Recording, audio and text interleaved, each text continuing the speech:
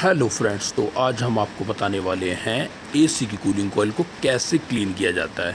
देखिए, जैसे कि मैंने इस कूलिंग कोयल को बाहर निकाला गाड़ी के अंदर से एसी की सर्विस के लिए तो देखिए कितनी ज़्यादा चौक हो चुकी है कूलिंग कोयल तो कूलिंग कोयल खोल दिया है और इसको क्लीनिंग करने का क्या प्रोसेस है? देखिए ए पानी के प्रेशर से क्लीनिंग किया जाता हाईवी प्रेशर नहीं मारा जाता, इसमें ज़्यादा हार्ड प्रेशर मारते हैं।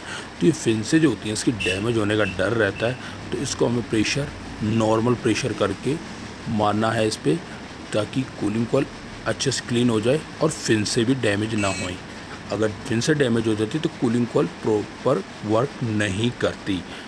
और ये देखिए, हम डक्टिंग वगैरह पूरी क्लीन कर लेते हैं, फिर हम इसको फिक्स करेंगे। तो ये देखिए, ये होता है पूरा प्रोसीजर एसी की कूलिंग कॉल क्लीनिंग करने का। हेलो फ्रेंड्स तो अगली वीडियो में कुछ और लेके आएँगे। तब तक के लिए राम राम।